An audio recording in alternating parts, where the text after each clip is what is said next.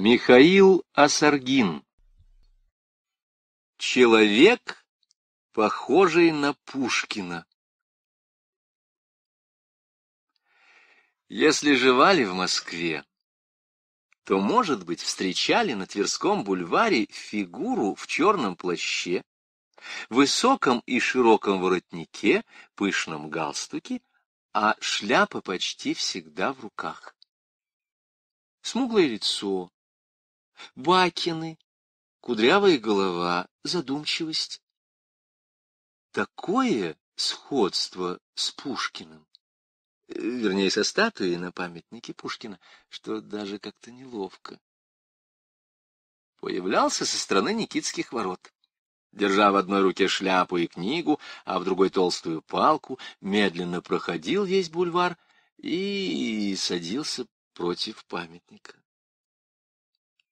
Этого человека звали Александром, но не Сергеевичем, а Терентьевичем, а фамилия его была Телятин.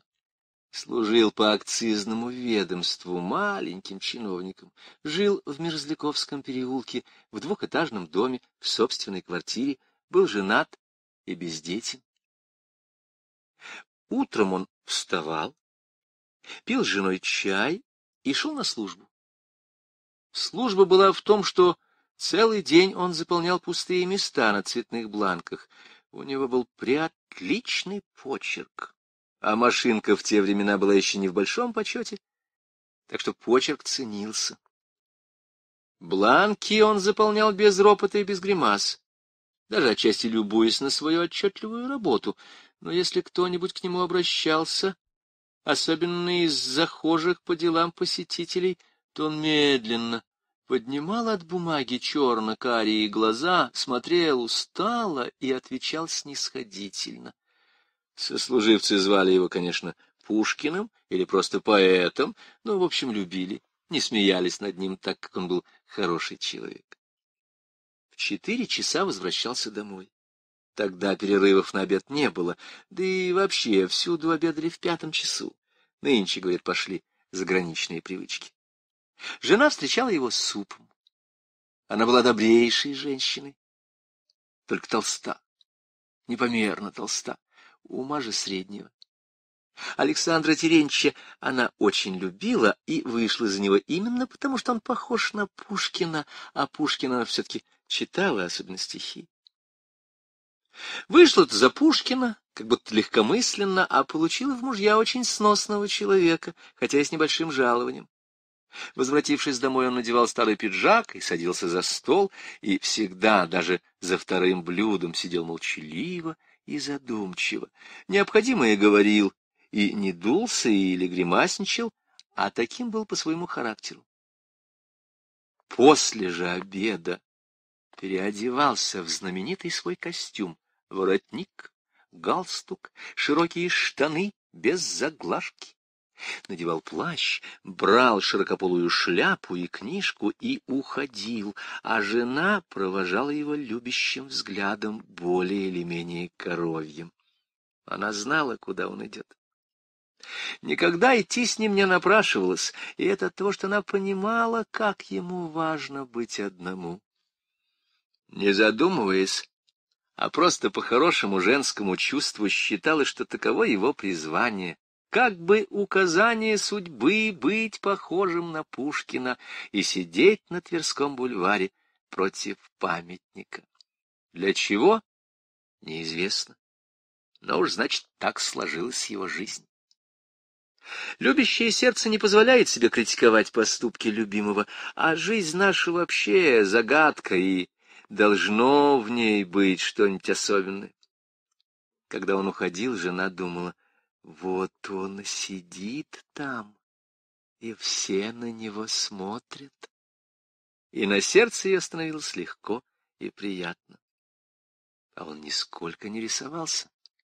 Он тоже чувствовал, что в его судьбе есть странность, и что иначе поступать нельзя, как, например, нехорошо зарывать свой талант или уклоняться от исполнения общественного долга.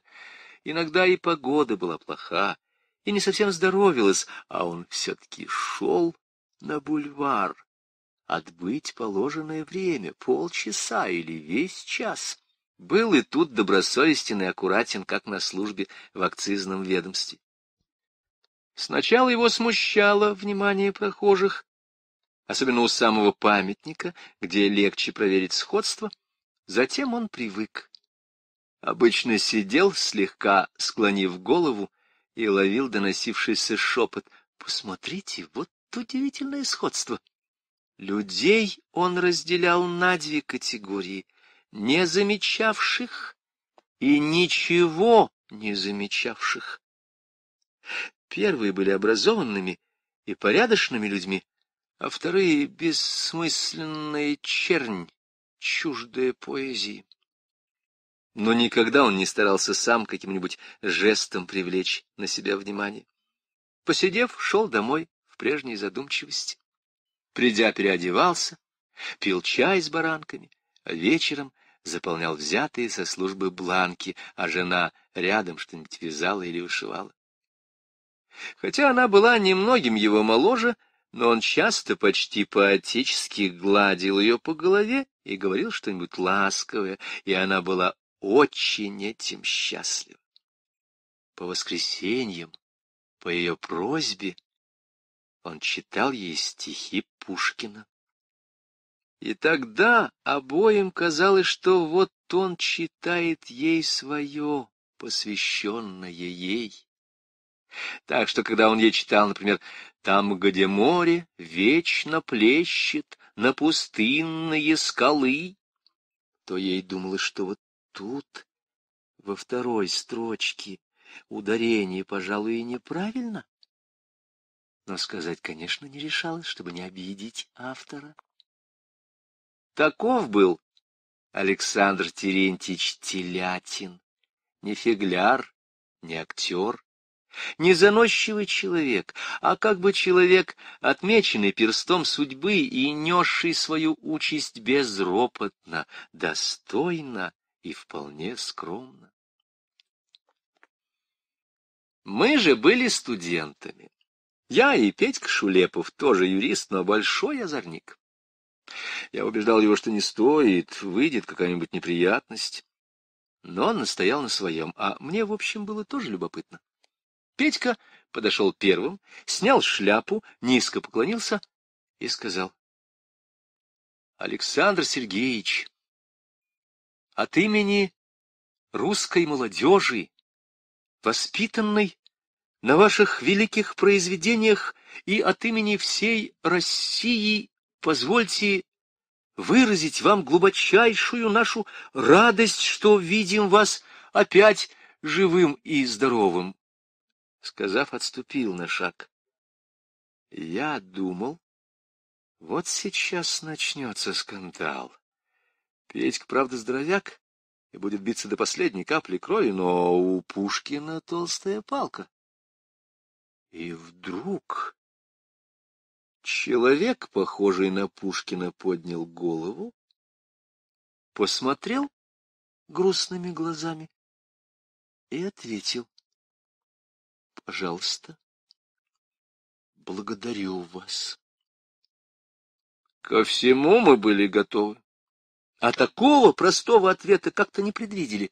Даже Петя Шулепов смутился и забормотал. — Мы ведь только так. Вот позвольте представить вам моего товарища, он тоже стихи пишет. Хотя я стихов не писал, но пришлось раскланяться, а Пушкин протянул мне руку и сказал, «Очень приятно, если у кого талант». Тут я потянул Петьку за тужурку и говорю в полголоса, «Идем, что ли, будет?» Но он шепчет в ответ, «Как-то теперь неудобно уйти». И опять к Пушкину. А что, Александр Сергеевич, может, сделали бы нам честь? Зашли бы с нами выпить певца, о литературе там поговорим и о прочем. Покорно благодарю. С удовольствием. Так и пошли. Мы по бокам с почтительным смущением, а он посередине в широкой крылатке, волосы в кудрях, голова немножко к низу, совершенный Пушкин. Публика смотрит с изумлением. В дверях пивной, пропустив его вперед, немножко задержался, и я спрашиваю Петьку Шулепова, на кой черт ты его позвал? Он, кажется, сумасшедший. Вот вздор. Здоровый человек. А может быть, он и впрямь Пушкин? Ну, тогда, значит, ты сам рехнулся. Да будет тебе. Зайдем, выпьем, а там посмотрим. Нам подали Калинкинского. Пиво плохое, но свирепое. А к нему такие маленькие бараночки, вроде обручального кольца, но с солью. Особо заказали раков. Человек как человек. Не смущается, помалкивает, только грустный.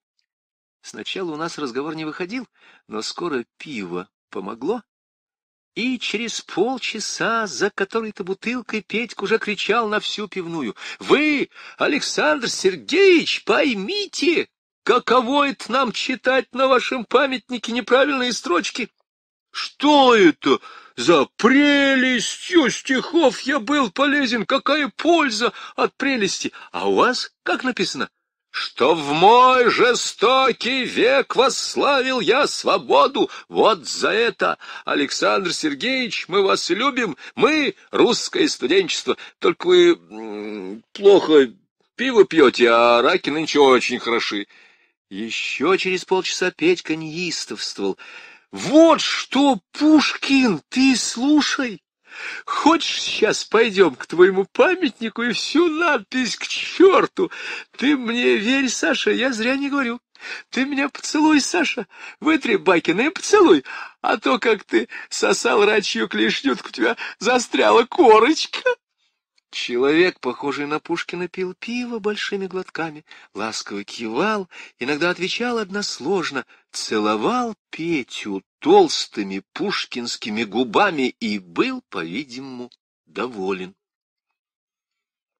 Только к концу дюжины пива я заметил, что если пьян Петя Шулепов, если и мое сознание не очень ясно, то наш гость совсем плох. То ли он не привык пить, то ли мы оглушили его беспардонной болтовней. Голова его склонилась, волосы спутались, галстук сбился на бок, и совсем он не был теперь похож на собственный памятник. Особенно пострадала крылатка, нехорошо им запачканная, когда мы подымали его из-за столика. И, одним словом, кончилось это не так приятно, как началось. Адрес он все-таки нам сказал. Усевшись в пролетку, подъехали к дому в Мерзляковском переулке. С извозчика драгоценный груз нам пришлось тащить обоим, а на неистовый Петькин звонок отперла дверь толстая женщина, ахнувшая при виде мужа. Я еще довольно сносно владел языком, и пытался ей объяснить, что э, вот какая произошла случайность, но что это ничего, даже очень хорошо. Но Петька перебил меня восклицанием «Палчите!» И вот Наталья Гончарова к чему приводит лег легкомысленное поведение. Мы, Наталья Гончарова, мы его привезли прямо с дуэли. А вот это, он показал на меня, это сам Дантес, я ему разобью. Перестань, Петька, нехорошо. Знаю, что нехорошо, знаю. И все же не позволю обижать великого поэта.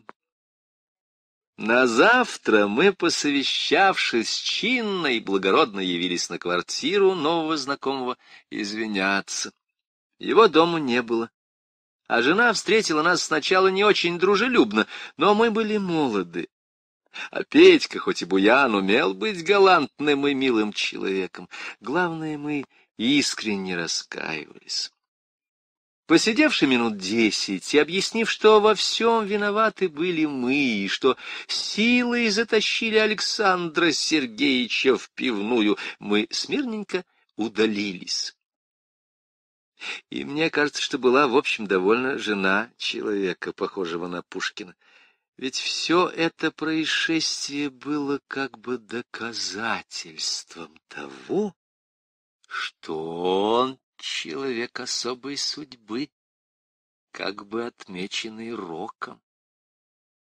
А Петька еще догадался вернуть несколько слов о ничтожных детях мира, о святой лирии и божественном глаголе. Удивительно, как у этого болтуна все приходилось к месту. Очень много. Лет пятнадцать спустя. После всяких житейских скитаний и мытарств, в дни революции, разрухи и московского голода, я вез однажды на детских санках полтора пуда мерзлой картошки. На улице были сугробы снега, а на Тверском бульваре дорожка более или менее протоптана и для санок удобно, и только повернул на бульвар со Страстной площади, как почти столкнулся с человеком странного вида, толстогубым, с полуседыми редкими кудрявыми баками в легкой, вызеленевшей крылатке от по-зимнему морозу. Я был в валенках, а он в каких-то необычных глубоких калошах с меховой оторочкой многолетней давности. Сам сгорбленный, под кулем какого-то зерна, надо полагать, овса или проса. В другом месте я бы не вспомнил. А тут у памятника Пушкина сразу узнал человека. Теперь о сходстве, конечно, смешно было говорить, а все-таки что-то осталось, вероятно, в глазах или в странности одежды. Подумал сначала, не заговорить ли? Напомнил бы ему, как подшутили ему над ним в студенческие годы, ведь быть того не может, чтобы он поминал нас злом, а время сейчас такое, что приятно отвлечь мысли от житейских забот. Но, посмотрев на свои саночки, решил, что накинуть на них еще его мешок будет слишком тяжело. Видит же, как он надрывается под непосильной ношей, и забавлять его приятными воспоминаниями как-то нелепо. Так я и не остановил человека, некогда похожего на Пушкина. Но вот что пришло мне, помню, тогда в голову.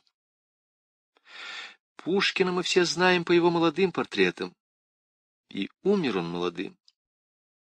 Мне же, и тут смеяться нечему, удалось видеть его старым и несчастным, потому что ведь сходство-то столь разительное сохранилось бы и в старости.